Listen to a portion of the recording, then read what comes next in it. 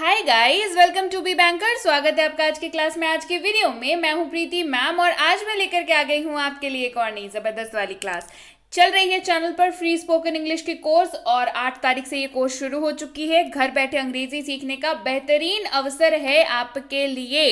ये रही रूटीन और आज है क्लास नंबर नाइन जी हाँ आज की क्लास अंग्रेज़ी के स्पोकन कोर्स का ही हिस्सा है।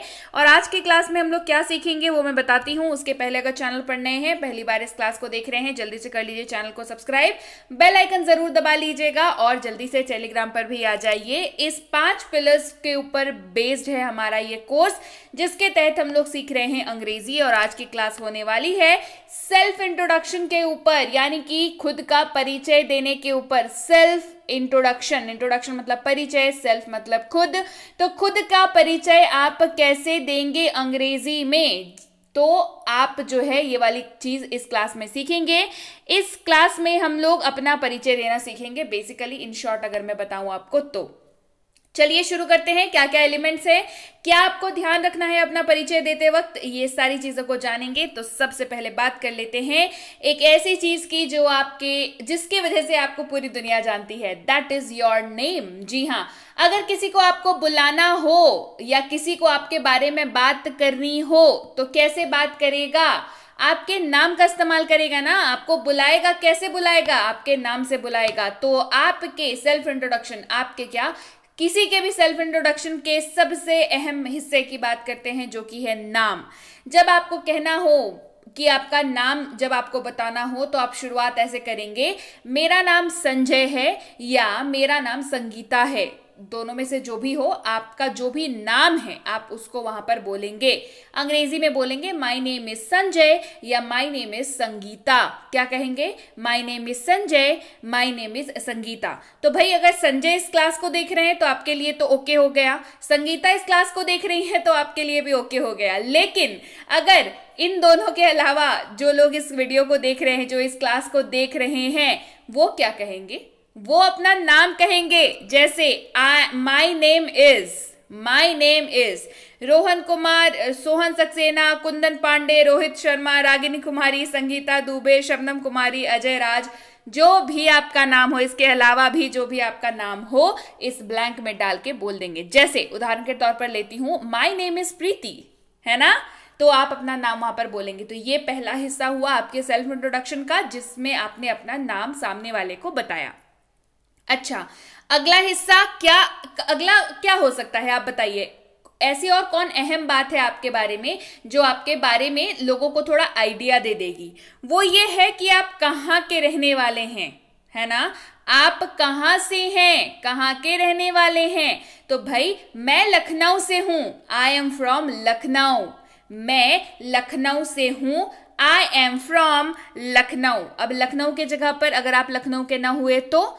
तो अगर आप हुए मुंबई के तो आप कहेंगे I am from Mumbai I am from Siwan I am from Maluti I am from Jaipur I am from Gwalior I am from Nashik I am from Ooty I am from Surat and any of the place आप जिस भी जगह के हैं, आप उस जगह का नाम, उस सिटी का नाम यहाँ पर आप डाल देंगे। ठीक है? आप मान के चलिए, आप भागलपुर से हैं तो आप कहेंगे I am from Bhagalpur. Right समझ आ गई बात? ये एग्ज़ाम्पल अब ये दूसरा हिस्सा हमने कवर कर लिया, जो आपके बारे में थोड़ी और जानकारी प्रदान करता है सामने वाले को। इसके बाद अगला हिस्सा क्या होना चाहिए? मैं एक चित्रकार या रिसेप्शनिस्ट हूँ। मैंने यहाँ पर दो मतलब ऑक्यूपेशन रखे हैं। ये बेसिकली ऑक्यूपेशन है। ऑक्यूपेशन का मतलब क्या होता है? आपका, आपकी रोजी रोटी जिससे चलती है है ना? मतलब आपका कार्य क्षेत्र आप क्या काम करते हैं, आप क्या वर्क करते हैं, ये अब अगले हिस्से में बताएँगे। जैसे आई एम अ पेंटर या I am a receptionist receptionist कौन होता है? जो बड़े बड़े ऑफ़िस में रिसेप्शन में नहीं बैठते हैं, जहाँ पे जाके आप सबसे पहले जाके वहीं पे बात करते हैं कि मुझे इनसे मिलना है, मुझे ये काम है। बैंक में जो होते जो आपको बताते हैं कि इस काउंटर पे ये काम हो रहा है, उस काउंटर पे वो काम हो रहा है। बेसिकली अटेंड करते हैं जो कस्टमर को या गेस्ट को। वो रिसेप्शन एरिया होता है और वहाँ पे जो लोग कार्यरत होते हैं, वो रिसेप्शनिस्ट होते हैं। मोस्टली फीमेल होती हैं। तो ये आपने यहाँ पर अपना कार्य क्षेत्र बताया कि मैं एक चित्रकार हूँ, या मैं एक रिसेप्शनिस्ट हूँ। आई एम अ पेंटर या आई एम अ रिसेप्शनिस्ट इसके अलावा अगर आपका कोई और प्रोफेशन है, जैसे आई एम अ स्टूडेंट हो सकता है ना आप पढ़ाई कर रहे हो, आप अभी तक कामकाजी नहीं बने हैं तो आप कौन हैं? I am a student I am a housewife या इसका एक और अलग शब्द है जिसको आप काफ़ी ब्यूटीफुल इस्तेमाल कर सकते हैं, जो आपके लैंग्वेज को थोड़ा स्टैंडर्डाइज कर देता है मतलब थोड़ा स्टैंडर्ड उसके लैंग्वेज की बढ़ा देता है that is I am a homemaker क्या? हाउसवाइफ देखिए, बहुत आम है, लोग इसका इस्तेमाल धड़ल्ले से करते हैं बट आई वुड सजेस्ट कि आप इसको जो है homemaker I am a homemaker जैसे आप इस्तेमाल करिए। इसके अलावा I am a doctor I am a soldier soldier कौन होता है बताइए? सेना में जो लोग होते हैं ना, सैनिक soldier I am a soldier I am a farmer I am a teacher I am a typist I am a DE operator DE operator कौन होता है भाई? डेटा एंट्री ऑपरेटर है ना? आई एम अ टेलीकॉलर तो इस तरीके के जो भी, जिस भी प्रोफेशन में आप हो हो सकता है आप बिजनेसमैन हो, आप अपना बिज़नेस करते हो तो I am a businessman right तो आप अपना प्रोफेशन वहाँ पर बता देंगे। क्या क्या चीज़ कवर कर ली? नाम बता दिया। ठीक है? धाम बता दिया मतलब जहाँ से बिलोंग करते हैं और काम बता दिया, क्या काम करते हैं, अब बताइए। इतना तो मतलब इस, इतना अगर आप किसी को बता देंगे तो आपको लगता है कि सामने वाले को समझ में नहीं आएगा? आपने अपने परिचय नहीं दिया, ऐसा लगेगा? ऐसा नहीं है ना? चलिए, थोड़ा और डिग इन करते हैं, थोड़ा और बेटर समझते हैं कि और क्या क्या एलिमेंट्स आप इसमें ऐड करेंगे। तो एक कंप्लीट सेल्फ इंट्रोडक्शन मतलब एक कंप्लीट जो आत्म परिचय है, वो हमारा बन करके रेडी हो जाएगा। अगला है आपका एजुकेशनल क्वालिफिकेशन। पढ़े लिखे आप कितने हैं? आपका जो, आपकी जो मतलब पढ़ाई लिखाई है, वो कहाँ तक हुई है? ये आप बताएँगे यहाँ पर। थोड़ा सा एडिशन वाला इंफॉर्मेशन है ये। जैसे मैंने बीकॉम किया है, मैंने बीकॉम किया है I am a BCom graduate I am a B com graduate अगर आपने बी कॉम ना करके आपने बीएससी किया हो तो I am a B S C graduate I am a B A graduate I am a B tech engineer I am M A है ना masters I am M A उसके बाद आप सब्जेक्ट बता सकते हैं आपने एम ए किस भी जिस भी सब्जेक्ट से किया हो वो सब्जेक्ट आप मेंशन कर सकते हैं I have done M C A I am an M B I am M M B A ठीक है आप इस तरीके से इस्तेमाल कर सकते हैं एम बी बी एस हूँ I am M B B S मैंने मैं डॉक्टर हूँ आई एम अ डॉक्टर ठीक है, आप इस चीज़ को जो है, आप बता सकते हैं, आप यहाँ पर अपना एजुकेशनल क्वालिफिकेशन मेंशन कर रहे हैं। क्या कर रहे हैं? एजुकेशनल क्वालिफिकेशन थोड़ी और जानकारी आपके बारे में हो गई कि आपकी पढ़ाई लिखाई भाई कितनी है। बढ़ते हैं आगे आगे बात करते हैं आपके पसंद और नापसंद की, क्योंकि ये भी किसी भी व्यक्ति के व्यक्तित्व का एक बहुत अहम हिस्सा होता है, उसका पसंद उसकी पसंद और नापसंद। तो मुझे बागवानी करना पसंद है।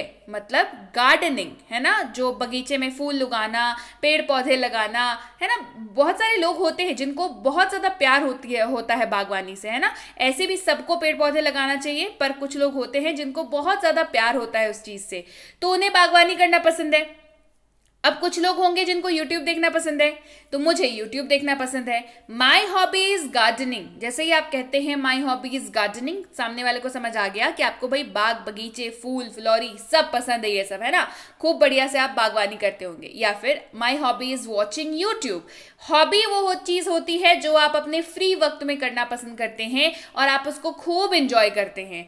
तो उसको हॉबी कहते हैं। तो जैसे यानी मैंने यहाँ पे एग्ज़ाम्पल के तौर पर लिया है my hobby is gardening my hobby is watching YouTube इसके अलावा जो हो, जो भी हॉबी हो आपकी, कुछ एक एग्जाम्पल्स मैं आपको दे देती हूँ, जिसको एज अ हॉबी आप कंसिडर कर सकते हैं बोलने के लिए। जैसे my hobby is cooking my hobby is painting my hobby is watching Instagram reels अब भाई, बहुत लोगों की हॉबी होती है। इंस्टाग्राम के स्वाइप कर करके रील्स बस देखे जा रहे हैं, देखे जा रहे हैं, देखे जा रहे हैं ना?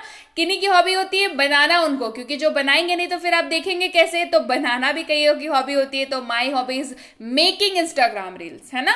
ये आप कह सकते हैं, या watching Instagram reels watching movies listening music watching cricket किन्हीं किन्हीं लोगों को तो क्रिकेट इतना पसंद होता है कि वो रिपीटेड मैच देखते हैं, जो मैच हो चुका है बहुत साल पहले भी, लेकिन फिर लगा के देखते हैं। तो भाई हॉबी हुई ना फ्री टाइम में क्या करते हैं? चिल करते हैं क्रिकेट देखते हैं, है ना? प्लेइंग गेम्स कुछ लोग गेम्स खेलना पसंद करते हैं, चाहे किसी भी तरह का गेम्स हो लूडो हो गया चेस हो गया, इस तरीके के गेम्स खेलते हैं। कई लोग बाहर जाके भी क्रिकेट खेलते हैं अपने दोस्तों के साथ तो that is also hobby surfing internet surfing internet भी काफ़ी लोगों की हॉबी होती है, जैसे कुछ पढ़ना, है ना? इंटरनेट पे कुछ खोज करके, किसी चीज़ को ढूंढ करके उसके बारे में पढ़ना, जानना। तो this can also be hobby और लोगों की होती है। तो आप भाई, या तो इनमें से कोई सिलेक्ट कर लीजिए कि हाँ भाई, मेरी ये हॉबी है, अगर आपकी है तो। मैंने कोशिश की है मैक्सिमम हॉबीज को कवर करूँ, हर फ़ील्ड को कवर करूँ। इसके अलावा भी लोगों की हॉबी हो सकती है तो आप उसको, इस ब्लैंक में उसको मेंशन करेंगे। ठीक है? क्या क्या कवर कर लिया? नाम बता दिया, जगह बता दिया, काम बता दिया, एजुकेशन, क्वालिफिकेशन बता दिया, पसंद, नापसंद बता दिया। अब क्या बचा? एक बहुत अहम हिस्सा आपकी पर्सनालिटी का दैट इज़ किस प्रकार के इंसान हैं आप? अगर आपसे कोई पूछे तो क्या जवाब देंगे? मैं बताऊँ स्पीचलेस हो जाएँगे। मतलब कुछ जवाब नहीं दे पाएँगे। तो इसके लिए ना आपको ऑलरेडी एक जवाब आना चाहिए। Because this is a very important question कई बार जो है आपको इस तरीके के सवाल का सामना करना पड़ सकता है कि what kind of a person you are मतलब आप किस तरह के, आपका व्यक्तित्व कैसा है? आप किस तरह के व्यक्ति हैं? तो आप इसको बेहतर तरीके से आप खुद बता पाएँगे। मैं एक ईमानदार व्यक्ति हूँ। I am an honest person मैं एक ईमानदार व्यक्ति हूँ। I am an honest person तो ये जवाब भाई कॉमन है, चाहे संगीत, संगीता हो या संजय हो, है ना? जवाब ये कॉमन है क्योंकि ऑनेस्ट तो दोनों हो सकते हैं ना? तो आपने यहाँ पर मतलब एक अपना, अपने पर्सनालिटी का एक हिस्सा बता दिया कि भाई मैं बहुत ईमानदार हूँ I am an honest person इसके अलावा क्या बोल सकते हैं? होगा ना कि आपको ये याद ना रहे या कुछ आप और बोलना चाहें तो क्या बोल सकते हैं? ऑनेस्ट पर्सन तो बता दिया I am a honest person I am a kind person मैं दयालु व्यक्ति हूँ, दयालु हूँ, ठीक है? मतलब दूसरों को देख के मुझे दया आती है, जो नीड में होता है उसको मैं मदद करता हूँ या करती हूँ तो वहाँ पर आप कहेंगे I am a kind person I am a hard worker अगर आप बहुत मेहनती हैं, आप बहुत मेहनत करते हैं, कोई भी एक प्रोजेक्ट अगर आपको मिल गया, कोई काम मिल गया तो आप खूब बढ़िया से तैयारी करते हैं, खूब बढ़िया से मेहनत करते हैं। तो I am a hard worker I am an energetic person मतलब खूब मतलब बहुत ज़्यादा आप मतलब एनर्जेटिक है। किसी भी काम को लेकर के उसको करना कंप्लीट करना, है ना? आप मतलब एनर्जेटिक हैं। फोकस्ड पर्सन फोकस्ड मतलब किसी मतलब ध्येय अपना जो है वो साथ करके उसको पूरा करना इसको फोकस कहते हैं। सोशेबल पर्सन मतलब जो सामाजिक हो लोगों से बहुत जल्दी घुल मिल जाता हो। एनर्जेटिक पर्सन बता दिया एक्सट्रोवर्ट एक्सट्रोवर्ट वो होता है जो फटाक से बिल्कुल किसी से भी मतलब पहली ही मुलाकात में दोस्ती हो जाती है वैसे लोगों की। एक्सट्रोवर्ट काफ़ी बहुमुखी होते हैं मतलब बात करने में उनको बहुत ज़्यादा मतलब सहूलियत होती है। जैसे दो तरह के लोग होते हैं, ठीक है? बातचीत की अगर मैं बात करूँ तो थोड़ा मैं आपको यहाँ पे इंट्रोडक्शन दे दूँ कि बातचीत करने की जहाँ तक बात आती है, दो तरह के लोग होते हैं। एक होता है एक्सट्रोवर्ट जो बहुत टैलेंटेड होता है बात करने में है ना? किसी भी बंदे से उसको बात करने को बोल दो तो वो एकदम आराम से बात कर लेगा उससे दोस्ती भी हो जाएगी। और कुछ लोग होते हैं इंट्रोवर्ट जिनको ना शर्म आती है जिनको आ, मतलब थोड़े से ना शाई फील करते हैं कि नहीं अजनबी से कैसे बात करें मतलब पता नहीं क्या मतलब उनके पास ना इस सवाल का कोई जवाब नहीं है। अगर आप उनसे पूछेंगे कि आप अजनबी से बात करने में कंफर्टेबल क्यों नहीं है तो उनके पास इस बात का कोई जवाब नहीं है। लेकिन द मतलब क्वेश्चन इज़ कि क्वेश्चन रिमेन्स द सेम कि उनको वो अनकंफर्टेबल होते हैं। उनको अपने अंदर से वो वो चीज़ वो नहीं ला पाते हैं कि वो किसी से भी बात कर ले। तो ऐसे लोगों को इंट्रोवर्ट करते हैं। पब्लिक प्लेस में बोलना, बात करना, उनको ना थोड़ी समस्या का सामना यहाँ पर करना पड़ता है। ऑल वो चीज़ें ठीक हो सकती हैं, ऐसा कोई बात नहीं है है ना? आप भी मतलब ठीक हो सकते हैं, अगर आप भी ऐसे कैटेगरी में हैं तो आप भी ठीक हो सकते हैं, कोई समस्या वाली बात नहीं है। आप अपने ऊपर थोड़ा काम करिए, अपनी पर्सनालिटी के ऊपर थोड़ा काम करिए। तो आराम से आप जो है इंट्रोवर्ट वाली जो समस्या है, जिसकी वजह से काफ़ी लोग समस्या का सामना करते हैं, है ना? तो ये कई चीज़ों में आप टैलेंटेड होने के बावजूद पीछे रह जाते हैं। तो इसकी वजह यहाँ पर काम आता है एक्सट्रोवर्ट नेचर थोड़ा सा आप में होना चाहिए कि हाँ भाई जाके मिल लिए, बात कर लिए, है ना? तो अपॉर्चुनिटीज़ बहुत अच्छी मिलती हैं। तो एक्सट्रोवर्ट पर्सन जो होता है वो इस तरीके का होता है। एन इंथुजियास्टिक पर्सन इंथुजियास्टिक मतलब किसी भी चीज़ को लेकर के ना बहुत ज़्यादा मतलब पॉजिटिव है ना? पर, मतलब प्रोग्रेसिव सोच रखने वाला अच्छा इंसान जो मतलब फ्यूचर को बहुत फ्यूचरिस्टिक अच्छे से फ्यूचर को देखना समझना इस तरीके का जो इंसान होता है किसी भी चीज़ को लेकर के बहुत ज़्यादा एक्साइटेड रहने वाला तो वो इंथुजियास्टिक इंसान होता है। तो आप किस कैटेगरी में फॉल करते हैं? मैंने यहाँ पर कोशिश की है, हर कैटेगरी में इंक्लूड कर लूँ। तो आप इनमें से किस कैटेगरी में फॉल करते हैं, वो आप खुद डिसाइड करिए, खुद देखिए। अगर आपको समझ में आ जाए, अगर आपको याद रह जाए, बढ़िया वेल एंड गुड अगर नहीं भी रहता है बाई चांस तो कम से कम दो चीज़ों को याद रख लीजिए। I am an honest person या तो ये याद रख लीजिए क्योंकि आप, आप कहेंगे आप ईमानदार व्यक्ति हैं या फिर I am a kind person मतलब मैं दयालु व्यक्ति हूँ मैं दूसरों को देखता हूँ तकलीफ़ में तो मदद करता हूँ या करती हूँ। तो आप इन दोनों को याद रख सकते हैं। बाकी जो और भी मैंने ऑप्शन आपको बताए तो वो तो ऑब्वियसली आपकी पर्सनैलिटी से जैसे मैच होंगे आप वैसे चूज़ करेंगे। ठीक है, कुछ नहीं याद रहे तो ऑनेस्ट और काइंड याद रखिए you are good to go right चलिए क्लास को थोड़ा समअप कर लेते हैं और एक क्विक सा रिविजन जो हम लोग हमेशा करते हैं, उसको कर लेते हैं. सबसे पहले, मेरा नाम संजय है या मेरा नाम संगीता है? मैं लखनऊ से हूँ. मैं एक चित्रकार हूँ या मैं एक रिसेप्शनिस्ट हूँ. मैंने बी कॉम किया है. मैं बागवानी करना पसंद करता हूँ या करती हूँ, या मैं यूट्यूब देखना पसंद करता हूँ या करती हूँ. मैं एक ईमानदार व्यक्ति हूँ. My name is Sanjay or Sangeeta. I am from Lucknow. I am a painter or a receptionist. I am a BCom graduate. My hobby is gardening. Yeah, watching YouTube. I am an honest person. ये हो गई आपका, आपकी यहाँ पर self introduction complete obviously उसके पहले आप ग्रीट करेंगे. हेलो गुड मॉर्निंग ये बहुत ज़रूरी है. Good morning good evening good afternoon जो भी है, आप कहेंगे, आप ग्रीट करेंगे और फिर अपने सेल्फ इंट्रोडक्शन को बताएँगे. बस यही आप पाँच से छह लाइन जो है वो याद कर लीजिए और देखिए कमाल. है ना? बिल्कुल कमाल होगा, है ना? क्योंकि आपको इससे ज़्यादा कुछ बोलना नहीं है। आपको इससे ज़्यादा कुछ जो है, कुछ बोलने का लोड लेना ही नहीं है। ये बेसिक सा सेल्फ इंट्रोडक्शन है, जो आप जीवन भर इसका इस्तेमाल कर सकते हैं। यकीन मानिए, ज़िंदगी भर आप इसका इस्तेमाल कर सकते हैं। बस यही छह लाइन आपको रटनी है अपने बारे में एंड आप सुपर तरीके से अपना इंट्रोडक्शन दे पाएँगे। अच्छा कुछ छूटा क्या? जी बिल्कुल छूटा। थैंक यू छूट गया ना? लास्ट में सेल्फ इंट्रोडक्शन खत्म करके थैंक यू बोलेंगे ना? समअप करेंगे ना चीज़ों को? कि हाँ भाई सामने वाले को कैसे समझ में आ गया? खत्म हो गया। उसको तो लगेगा कि आप अप, अपने बारे में भी और बताएँगे कि हाँ भाई मेरा जन्म इस दिन को हुआ था मेरी उम्र इतनी है मेरी शादी इतने तारीख को हुई थी मेरे इतने बच्चे हैं। नहीं नहीं मेरी शादी अभी नहीं हुई। सामने वाले को लग सकता है कि आप ये भी बताएँ। तो ये सब चीज़ें आप नहीं बताने वाले हैं। और इसके अलावा भी और चीज़ें आप नहीं बताने वाले हैं, ये बताने के लिए आपको थैंक यू बोलना बहुत ज़रूरी है। यानी कि आपको जैसे आपने शुरुआत की गुड मॉर्निंग कह के हेलो गुड मॉर्निंग कह के आपको एंडिंग करना भी तो ज़रूरी है ना? तो एंडिंग के लिए थैंक यू से बेटर क्या हो सकता है? बेस्ट है थैंक यू है ना? तो थैंक यू बोल करके आपने एंडिंग कर दी। तो हमने क्या सीखा आज? हमने सीखा सेल्फ इंट्रोडक्शन आत्म परिचय देना सीखा, जिसमें हमने सीखी नाम बताना काम बताना, धाम बताना, यानी कि आप जहाँ पे रहते हैं वो बताना, आपका एजुकेशन क्वालिफिकेशन बताना, साथ में आप कैसे इंसान है वो बताना सीखा, और आपकी हॉबी पसंद नापसंद क्या है, हम, हमने वो बताना सीखा। इतना काफ़ी है किसी इंसान को किसी दूसरे इंसान के बारे में जानने के लिए।